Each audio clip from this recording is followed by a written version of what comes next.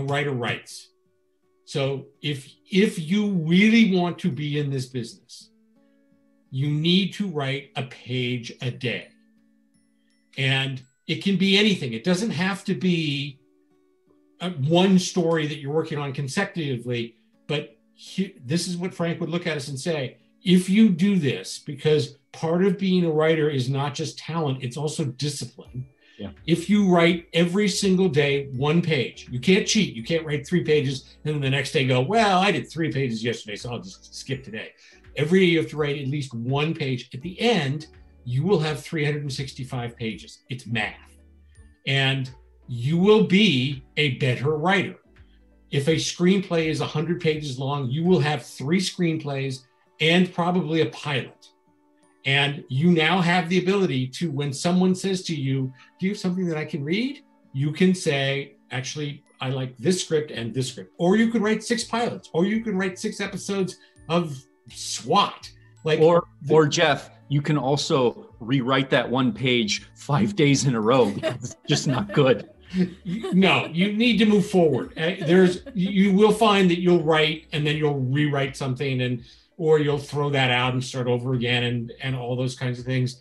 Um, I, I remember when I was in film school that one day I just I, I did a you know all work and no play makes Jeph a dull boy and I just wrote that and went ha. But it doesn't get you anywhere when you do that. You have to you you have to commit that this is what you're going to do and that's and we haven't even gotten to, to the magic of having an agent or a manager or someone who's representing you out there if you're not represented and you don't have anybody that can get your material to this actor or this or the Jeph Loeb who's at Marvel or Z who you saw on this thing, how could I get in my material? Well, you're going to need an agent to do that.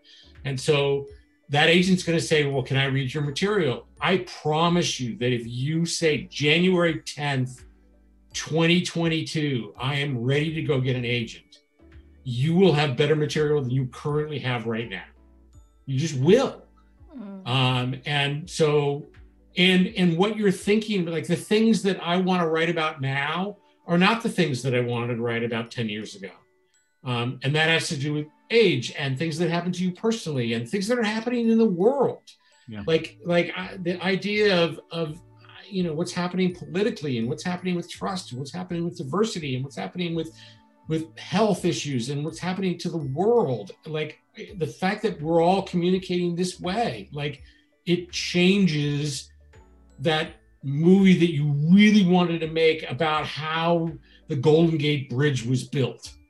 Like you have to at some point say to yourself is that still relevant? It's relevant to me. I love the golden gate bridge. It's my favorite bridge in the whole world. I want to write a movie about the golden gate bridge. Okay for who?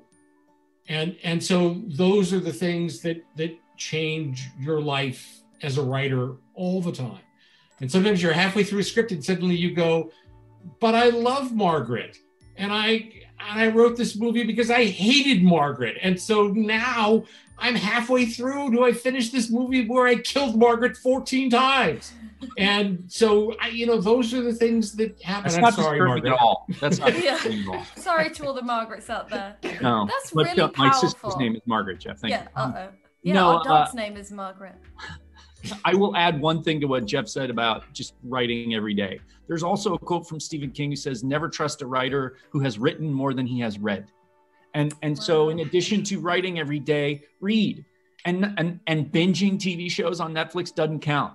Like, look at the written page. You can now buy like scripts on Amazon of popular TV shows and stuff. Like, there's compilations and there's drafts and you know, not just scripts but novels and like you know, read. Just see what's out there and how how the words on the page are crafted depending on the format because writing a writing a novel is very different than writing a, a treatment for a tv show or an outline or a script or a character biography or or or. There are many different uh, kinds of writing that you have to uh, uh, be proficient at in order to make it in this business.